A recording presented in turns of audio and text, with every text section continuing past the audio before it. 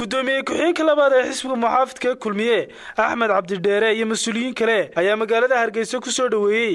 Wasiirka hore arrimaha dibadda somalilan doctor maxamed cabdilaahi cumar iyo aqoon-yahan maxamed cali bile inta ay socotay soo dhoweyntaasina waxaa laga jeediyey hadallo kala duwan. Waxaanu halkan u joognaa nin aanu muddo fara badan oo shan sannadood gaadhaysa haddaannu nahay xisbiga kulmiye aanu daba soconnay oo aannu doonaynay inuu xisbigayaga ka mid noqdo waa aqoon-yahan maxamed cali bile oonu muddo badan talooyin fara badan xisbiga siinayey qoraallo fara badan ka qayb galay isaga oo aan markaa xisbiga ka tirsanayn ka qayb galay barnaamijkii xisbiga inuu talooyin fara badan naga siiyo.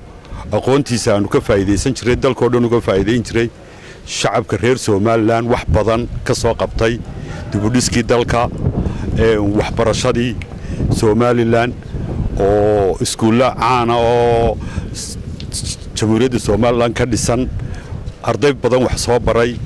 Maantana ku soo guryo noqday waddankiisii oo aanu filayno wakhti dhow.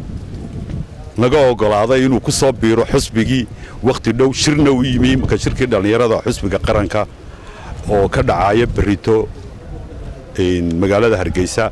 Maxamed aad marnaan wada shaqayn lahayn. Aad baan ugu faraxsanahay.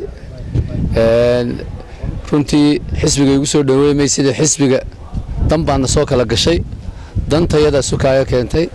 Ina maanta xisbiga kulmiye aan ka mid noqdo aan wax ka dhiso aan hore u mariyo aan haddii wax ka qaldanyin la soxo.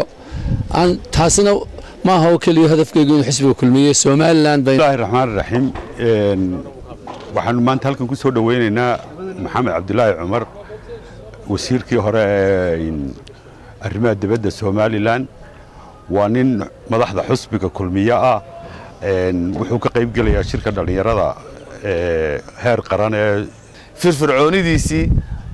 Waxaan aad iyo aad ugu faraxsanaya inuu maanta ku soo noqday muxuu ahaa somalilan uu ku soo noqday. Isagoo uu daaranaa socdaalkiisan halkan uu ku yimi inuu ka qayb galo shirka muxuu ahaa dhallinyarada xisbiga kulmiye oo shirweynaha dhallinyarada xisbiga kulmiye oo berri ka halkan laygu soo dhoweeyey arrinta aanu imid sidaa wasiirka iyo guddoomiyuhuba ay tilmaameen waa ka qaybgalka shirka heer qaran ee dhallinyarada xisbiga kulmiye. Oo markiisii ugu horreysay kongress caynkaasoo kaleoo ballaaran ee ku yeelanaya magaalada hargeysa berito oo axada haddii aan la idmo. Shirkaas waa shir ballaaran oo laga hadlayo vishinka iyo aragtida xisbiga xagga dhallinyarada iyo doorka ay ka qaadanayaan arrimaha qaranka iyo sidii iyagaba rajooyinkooda iyo mustaqbalkooda iyo arrimahooda loo adress garayn lahaa si wanaagsan looga doodi lahaa.